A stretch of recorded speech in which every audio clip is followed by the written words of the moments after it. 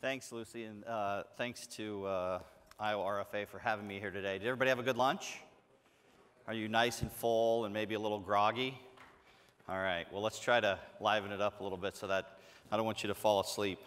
Uh, so, as Lucy said, we're going to talking biofuels, the do's and don'ts.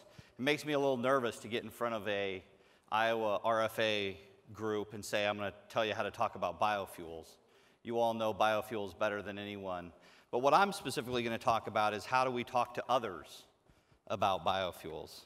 Um, you know, for many years now, the uh, oil industry and other critics have been spending millions of dollars to define ethanol, to define the ethanol industry, to really shape the narrative of how people view ethanol and how people think about ethanol. The keynote speaker earlier today, Emily Skor, talked about changing that narrative, and that's what we're going to talk a little bit about today.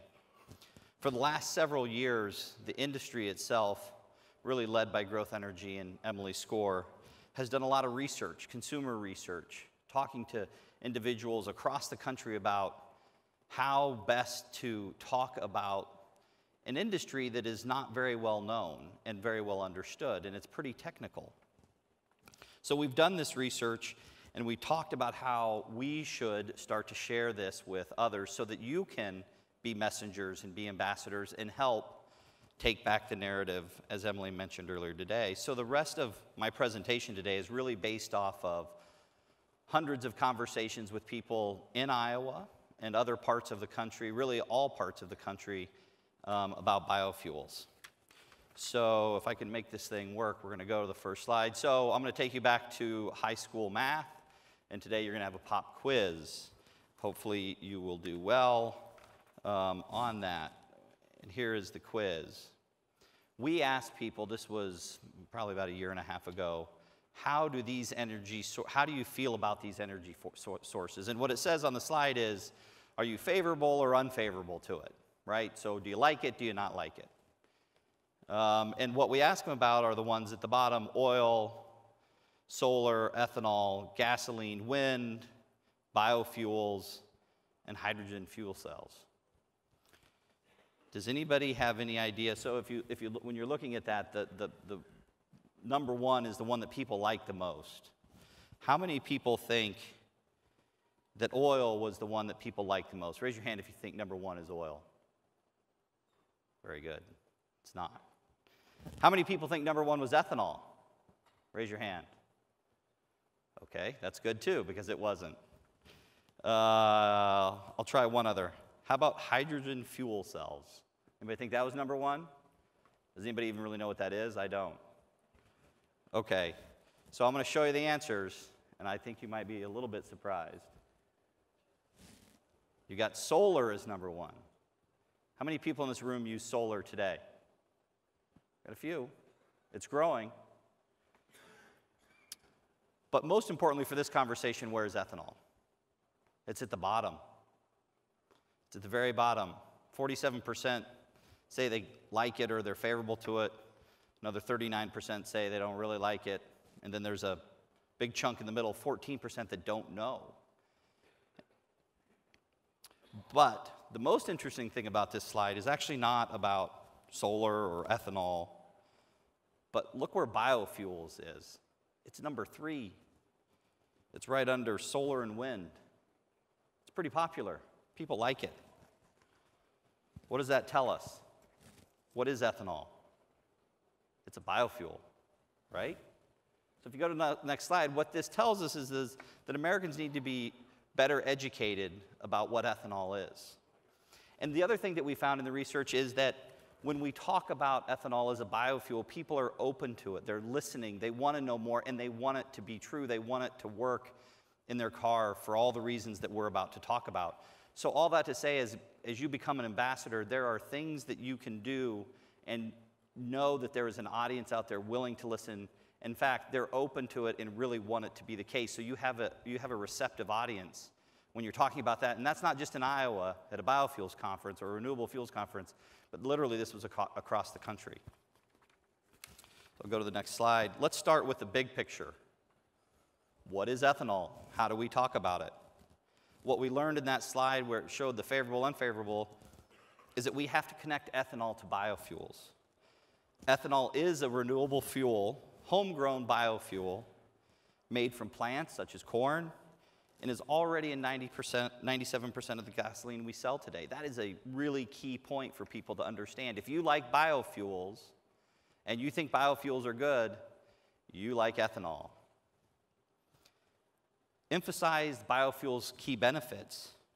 Ethanol is, burns cleaner, cooler than oil, while also increasing octane, so it's not only good for your car, but it's good for the environment. And really, one of the message points that frankly works really well with millennials and moms is what, what does ethanol replace? Without ethanol, we're la- left with cancer causing chemicals that are bad for our environment, bad for the air, bad for children to breathe. We're left with higher gas prices and more dependence on foreign oil. Just so you can see them. And I catch up on my, with my clicker. So now let's go in a little bit more specifics. That's the big picture. That's what ethanol is. Ethanol is good for the environment. Ethanol is earth friendly biofuel that cuts carbon emissions by an average of 43%. And this percent will continue to grow and increase as, with ongoing innovations. Ethanol production and its use is estimated to reduce greenhouse gases by 110 million metrics every year of greenhouse gases. The really important point in this is that it's like taking 20 million cars off the road. That's a message point that people like to hear. It's hard to fathom, but it's one that they like to hear and it helps them understand why it's important. And then I hit on this one a little bit earlier as well. It's cleaner air. It replaces biofuels like ethanol replace toxic fuel additives that have been proven to cause cancer, asthma, smog, and that's something that everyone can breathe easier about. So it's good for the environment. And one of the things that Emily said this morning in her keynote that was so important is you got to know your audience. I'm from Logan, Iowa. My parents uh, grew up a short distance away in Council Bluffs. And I'm not sure that this one is the one that will make them be the most receptive to ethanol, but it is to a lot of people. I now live on the East Coast. I live in Washington, D.C., or just outside of Washington, D.C.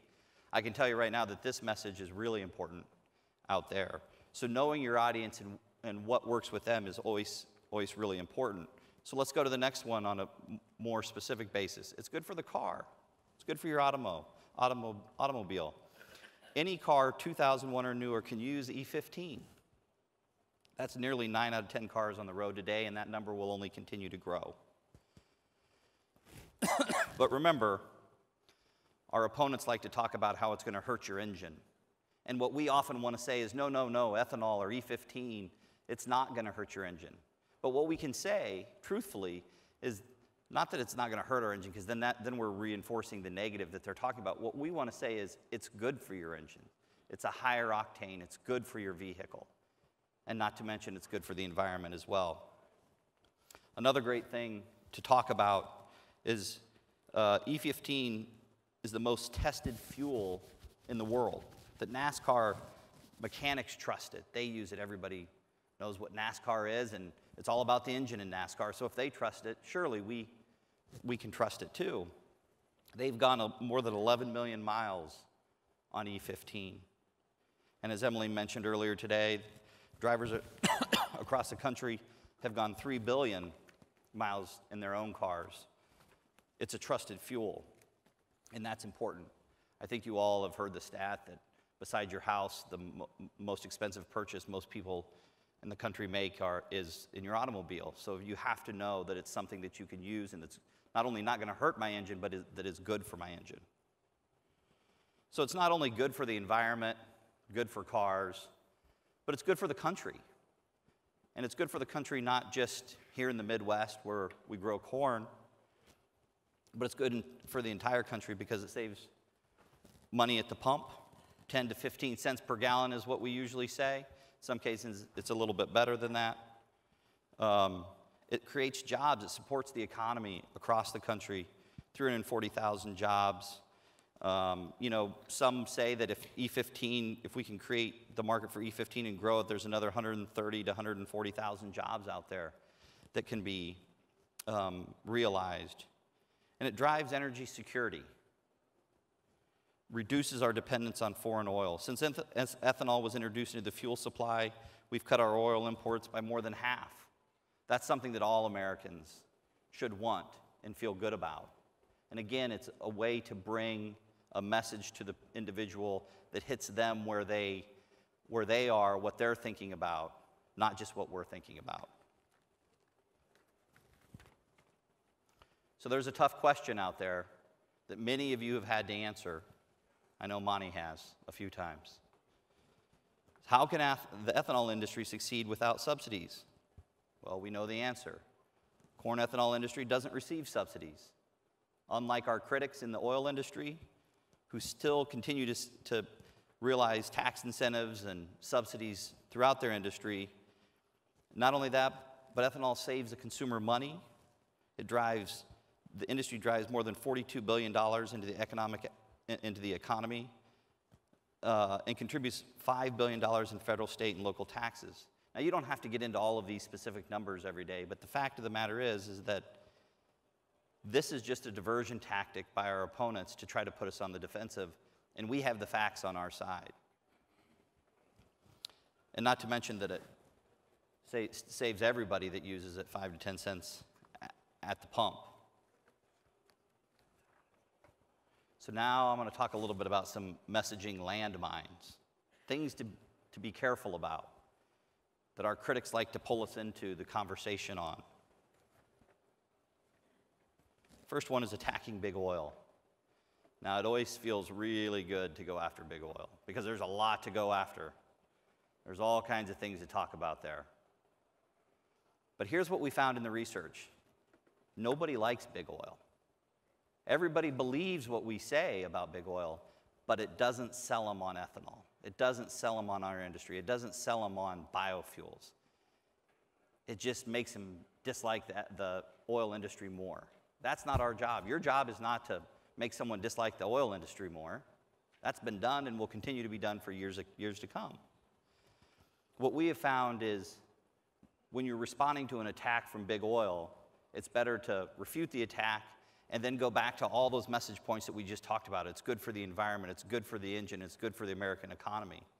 Not to get mired down in the mud with big oil and in their fight. Emphasizing corn or driving the food versus fuel debate. You know, several years back, you'll all remember it, several organizations based out of Washington were really fueling this food versus fuel. If we're using corn for fuel, it must be starving people somewhere in the world. We know that's not true. An interesting thing we found in the research is that people don't believe us. They fundamentally can't wrap their arms around that if we're using it for fuel, it isn't hurting the food supply in some way. But there's a silver lining to that, is that it doesn't change their mind about ethanol.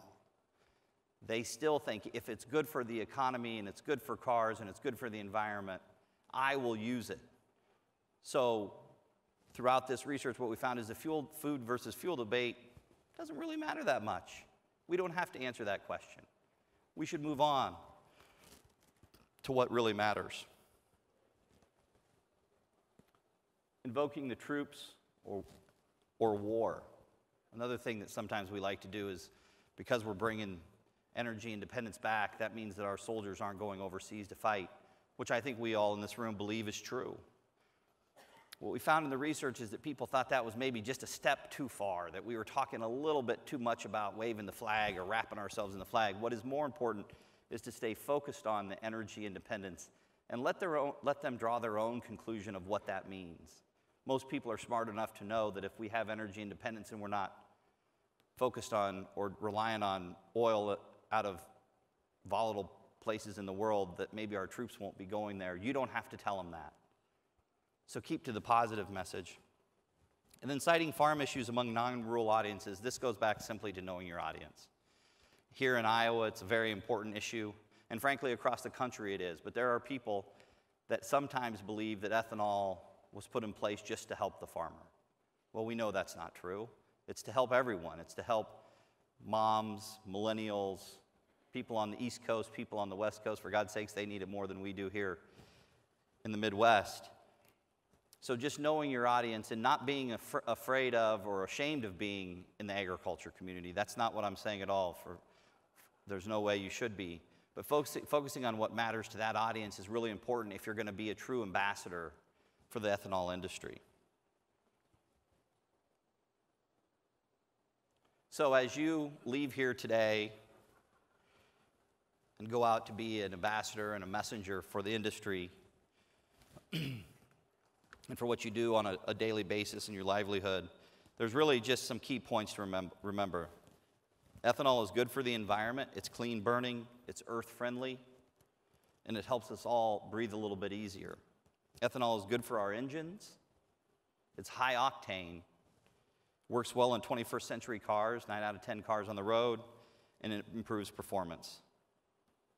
And finally, and it's one that really matters to me is, it's, good for the, it's good for the country. It displaces cancer causing chemicals, toxic alternatives, reduces our dependence on foreign oil, and probably most importantly, saves money at the pump for all of us.